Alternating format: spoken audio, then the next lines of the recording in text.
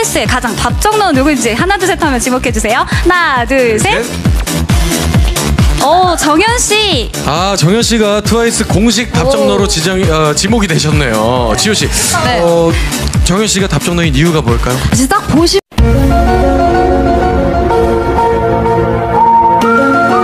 보시 면 이제 얼굴부터 약간 뭔가 It was at this moment that he knew. He fucked up. 이제 딱 보시면 이제 얼굴부터 약간 뭔가 고집 있는 느낌? 아 장난이고 이거 정연이가 약간 선택 장애 같은 게 없이 잘 네, special guest. 네 이번 주 MSG에서는 진정성 있는 음악과 목소리로만 승부하는 발라드 그룹입니다.